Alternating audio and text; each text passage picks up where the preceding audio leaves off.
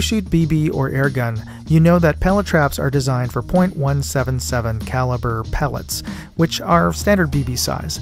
Well, this Ideagle pellet trap claims to be able to withstand 22 caliber pellets from a hunting airgun.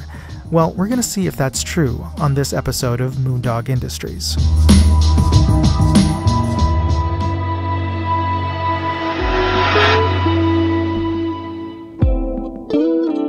So we have the Ideagle pellet trap here, and even though the label says bullet trap, I can assure you that this is a pellet trap and not meant for real firearms.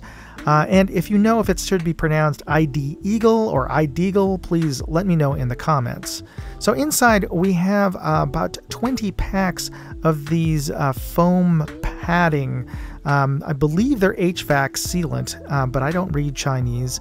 And if you happen to know what this means, I'll post up a picture here. I believe it's air conditioning or ventilation ducting putty, but um, you know, you tell me. So Ideagle, or however it's pronounced, you tell me. I'll just go with Ideagle. Uh, sent along 20 packs of these, and the intention is for you to use them uh, to help catch the pellets inside of uh, their trap and also to reduce noise. Okay, in the rest of the box, we have uh, the panels that uh, you assemble to create the trap. Uh, we have a bag with uh, a clip that you attach to your trap to clip on your targets, your paper targets. And we have a total of uh, four panels, four steel uh, metal panels here, and they are pretty hefty. So they're not the, the light metal that I'm used to seeing in a lot of pellet traps. Now, I'm going to speed things up for the sake of time. Now, my kit did not come with printed instructions, but they sent me a PDF and it describes how you should assemble the panels in this configuration. And it comes with a set of uh, screws and an Allen wrench for you to connect uh, the panel pieces together to create your sort of triangular box. The panels are steel, I don't know what kind, but the back and the bottom panels, which are designed to take the impact of your projectiles, are substantially thicker than the side panels. They're about 4 millimeters or over an eighth of an inch thick.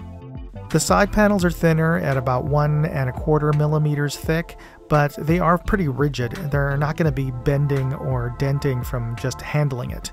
Now, fully assembled, this thing is pretty hefty at over 10 and a half pounds, and it felt solid and well constructed. Certainly a far cry from the Crosman plastic and cardboard BB trap that I grew up with.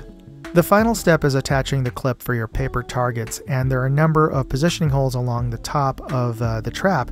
Perhaps maybe too many holes? I don't know. Maybe it's just me. So here's your fully assembled pellet trap, and it is pretty substantial.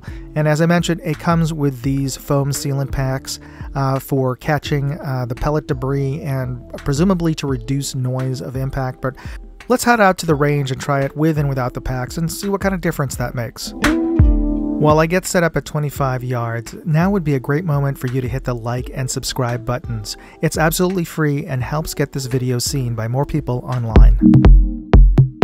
So I'm going to be uh, testing this out with my Benjamin Nitro uh, Trail 2.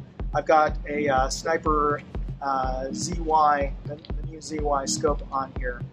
And uh, we're going to be shooting, uh, what do we got here? We got Benjamin round tops, um, hollow points, I think.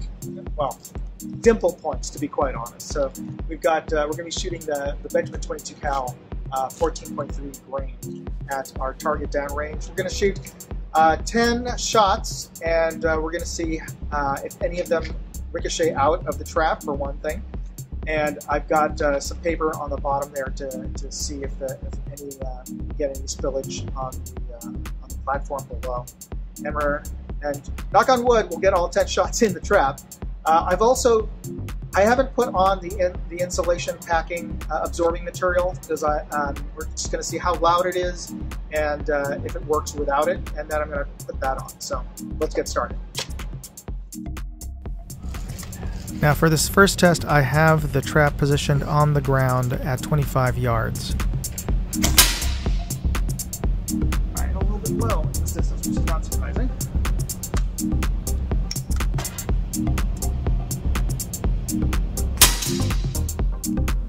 After putting 10 shots into the target, I went down range to check on the trap. Alright, so let's go examine Pelitrap and see what it looks like. Now I've raised up the trap on a barrel now uh, because as it turns out shooting downward into the trap uh, at the ground from a sitting bench position I ended up hitting the very flat back panel uh, almost the very bottom panel of the trap which is not where it was designed to take hits. And the trap worked, it kept ricochets out. I put the old target below uh, the new target so we can take a look at it. Now the holes were outward, so that meant that uh, no uh, ricochets popped out. Um, we just got some debris, which I, I think it did ricochet out a, a bit, and then just hit the back of the paper and then fell forward is what happened. So yes, if you if you put on those insulation packs, that should absorb some of this ball. Uh, but we'll see how it works without those insulation packs first. I'm going to move I'm going to move the shooting position up to 10 yards and uh, we'll try it out. All right, we've moved up our shooting position to 10 yards. Now we're gonna try out and see how well this thing survives. Uh, note that the manufacturer stated that this is uh, was intended for 25 yards, though a lot of people don't necessarily have 25 yards in their backyard. Uh, so I'm gonna go with 10 yards, which is a standard competition distance for air gun. So um, one would presume that a pellet trap should be able to uh, survive at this distance, so let's find out.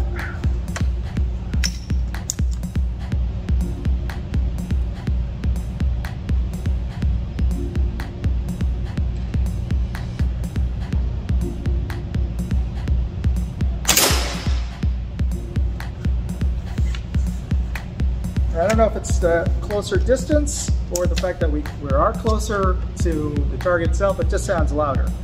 So probably a combination thereof. After my final shot, I was curious to go check out the trap and see how well it handled 10 shots in a row from this distance.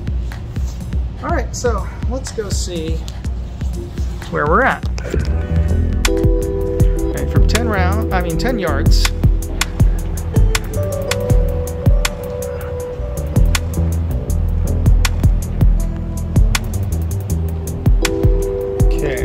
Definitely got some spall on the bottom here. Uh, paint, looks like paint chips, some lead, nothing penetrating the paper. And I don't see any outward holes, so nothing high velocity enough to bounce out. And let's look at the back of it, and the inside of this, and then we'll look at the back. So all the impacts are there. And of course, if you're shooting bullseye targets, you're going to be hitting the same spot over and over again, hopefully, if you're aiming for the bullseye. So it's something to be to consider is you may want to pick up some targets that are distribute out your aiming point so that you're not always hitting the same spot. But that's something also from the manufacturer standpoint, they may want to consider reinforcing just the very center. But let's see how it looks like for the back. Do we get any deformations? Not at all. None at all. I'm looking at it from an angle here. Nothing. So perhaps maybe this could, from say 50 yards, survive a 22 uh, long rifle impact. Not quite sure.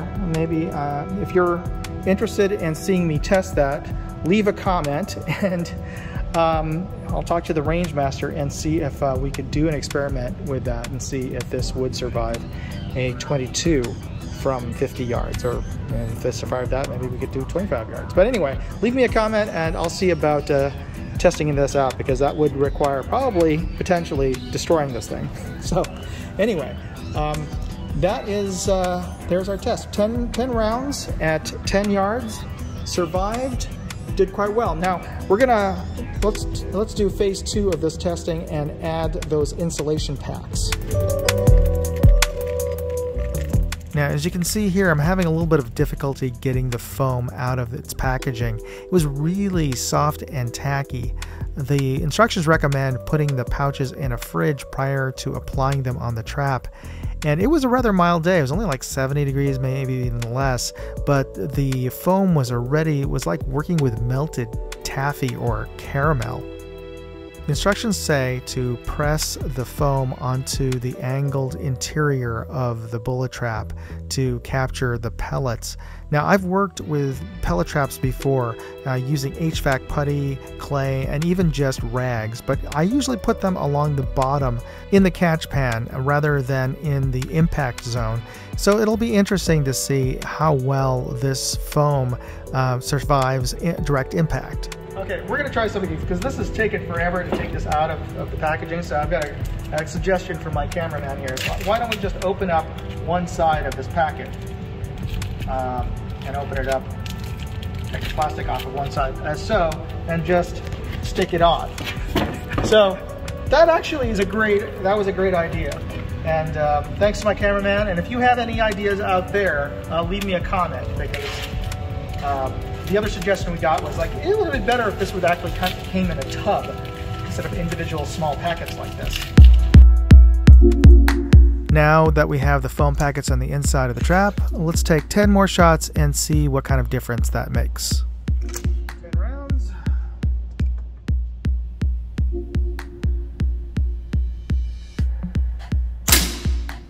It's funny, but I remember when I took that shot and thinking I was a little disappointed that there wasn't much difference in the sound of impact with the foam attached compared to before when there wasn't any foam. But let's listen now to a sound comparison. This is without the foam. And that was with the foam attached. So yeah, not a huge difference, but there is a difference. I continued to fire the rest of the 10 rounds into the trap, making sure this time to aim in different parts of the overall target area. Uh, aim for the outer ring in a clockwise fashion to see if there would be any difference in either sound or performance of the trap. Alright, so we did get some small. Here's a new here's a new piece that popped out. Oh, sorry. So we did get some spall. Here's a, a piece that uh, that popped out. It was right there, and there's another. So uh, we did. There is a pronounced reduction in just smaller pieces of, of spall. So uh, nothing popping out through the paper, as far as I can see, in terms of uh, the holes. And yeah, so there's our tall tall hit, those two tall hits there. So it did hit the sealant, even though it did sound loud, or as loud as, as the previous ones. So yeah, this, I mean, the sealant does help reduce the um, uh, amount of, uh, of debris and spall that, that, uh, that slips out of the trap. But I did not notice that any subjective reduction in the amount of noise. So that's just something uh, to consider. Anyway, it does work, and we can, again, just take a look at the back of that. Pristine. I, I see and feel no deformation at all in this rear plate. So I feel confident this will last at least as long, if not longer, than your than other um, pellet traps that I've uh, I've used in the, in the past. So yeah, I can say that it works. Anyway, uh, thanks for watching. I hope you got something out of this. If you did, uh, please hit that like and subscribe buttons. And if you're interested in picking up uh, this particular pellet trap, I'll include links in, my, in the video description to uh, my article on my uh, blog, moondogindustries.com. So check that out. Uh, use that link because it helps support this channel and it doesn't cost you anything more. And again, please hit the like and subscribe buttons. It's absolutely free uh, and it helps uh, helps grow this channel and uh, it helps uh, game the uh, algorithm, the big tech algorithm, so you start seeing more cool content like this as opposed to, I don't know, cat videos unless that's your thing. Anyway, you be safe out there. Moondog out. We can all do our part to strengthen our sport by taking a noob to the range. Introduce them to a new hobby in a fun, safe way. Start by sharing this video with them on forums, Facebook, TikTok, Telegram, whatever. And if you want to see all of my videos, check out moondogindustries.com.